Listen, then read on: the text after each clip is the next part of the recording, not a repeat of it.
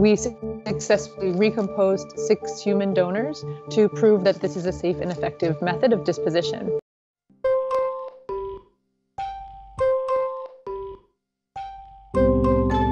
While I was doing all this research around the funeral industry, I found out about natural burial, which is a beautiful option where bodies are uh, wrapped in usually a shroud or a pine box and buried in the forest or the meadow or some sort of conservation land. And I thought, oh God, that's perfect. That's what I want. And then thinking about the fact that A, I love living in cities and um, I grew up in rural New Hampshire, but like I love my cities. And B, that there probably isn't enough land for everyone in our cities to be buried outside of the city in a, in a natural burial. I started to think, well, what would the urban equivalent be of a natural burial?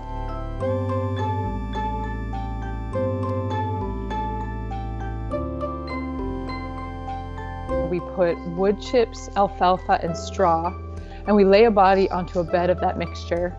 We cover it with more of the same, and then over the span of 30 days, we aerate, so we're providing oxygen and essentially creating the perfect environment for beneficial microbial activity to occur. So, over that span of 30 days, the body breaks down, including bones and teeth, and the resultant material is this beautiful soil that you can use to grow a tree or nourish a garden.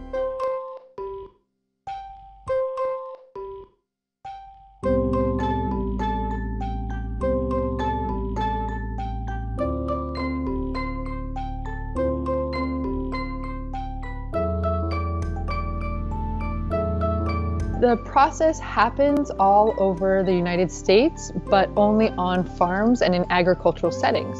So this is a process essentially that we've been doing with animals for decades now. It's really well researched and we know it works really well and it's a great way to return recycle animals to the earth.